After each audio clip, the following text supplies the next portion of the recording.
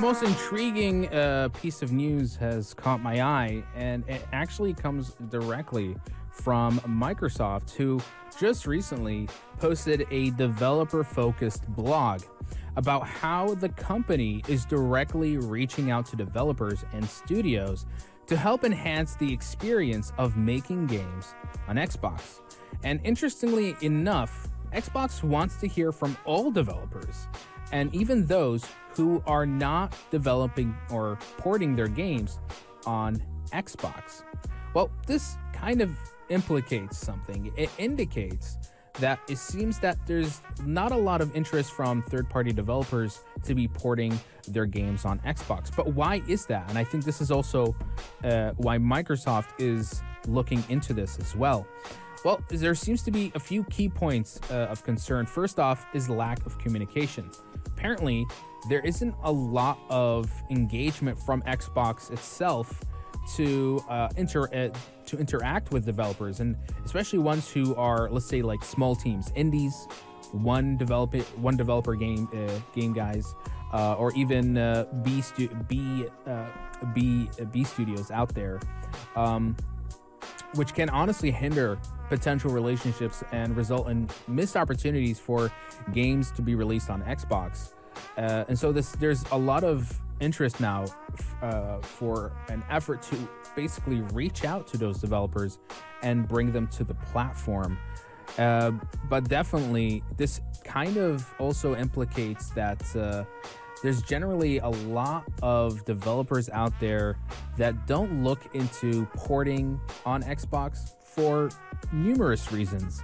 And I think the first one has to do with the market. I think all most developers are aware that Xbox has seen lower hardware sales compared to its competitors, um, such as uh, such as PlayStation and the Switch, leading developers to really just prioritize um, platforms with larger player bases. Um, and honestly, when you look at PlayStation and PC, I think those are the largest ones so far, especially with PlayStation selling a lot more consoles and uh, having very active player base. It's, I think, currently that's where a lot of developers like, okay, uh, especially on PC, if they're gonna make a game on uh, PC, they might port it to PlayStation first before Xbox, and I think that's sort of the mindset that comes with it. Um, also, the Xbox Game Pass is definitely something that has impacted the market dynamics.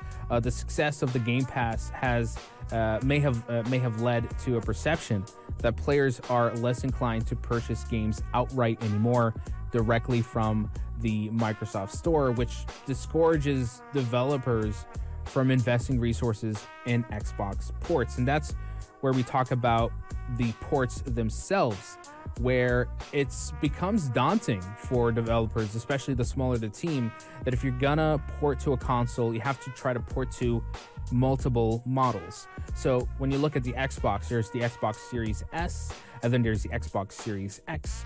And that requires a lot of development time and, and, and just very complicated uh, development effort uh, to make sure that they are properly ported to multiple models, uh, especially when perhaps these are small teams and they can't really, they don't have the money or the time to be able to port on multiple models. And so I think it just becomes completely uh, dismissed uh, to begin with.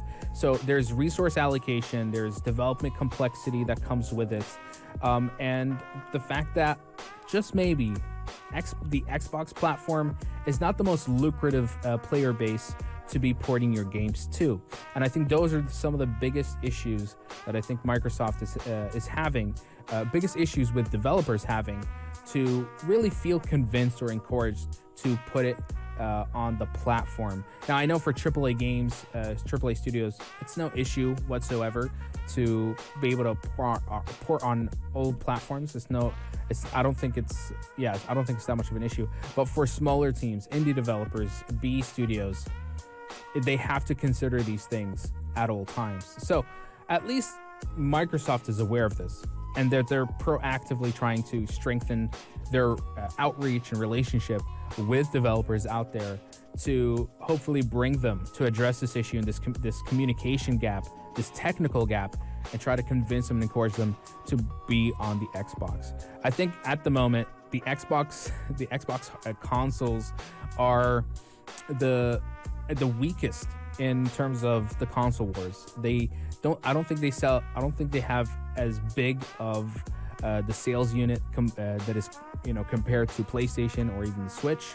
Um, but at the same time, I think Microsoft has had this priority of uh, you know their live services like the Xbox Game Pass, and I think this is one of the reasons why n- nobody really wants to be buying an Xbox these days, and especially the fact that whenever they do come out with games, it comes out on the Game Pass. It's also available day one on PC, and so that exclusivity factor is no longer there as well. And I think that also affects, again, the sales of the hardware. It all kind of trickles down the same, uh, the same uh, path, and that is. Microsoft is just not selling enough consoles out there to justify uh, a lot of developers to port games on that platform to begin with. But what do you think? You let me know. Uh, do share your thoughts and opinions on the matter right here on the Evening Buzz. Let's take a short. Uh, actually, it's time to wrap it up here on the Evening Buzz. It's the end of the hour, uh, but don't worry, I'm going to be back here for more episodes of the Evening Buzz every Friday, Saturday, Sunday, and Monday. Keeping you guys busy and entertained all throughout the weekend shift, only here on Pulse 95. This is Michael Tia signing out.